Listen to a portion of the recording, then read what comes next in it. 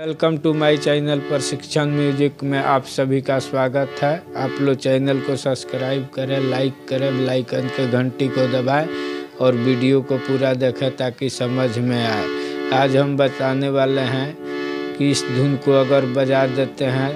तो किसी भी मंच के माहौल को बदल के रख देगा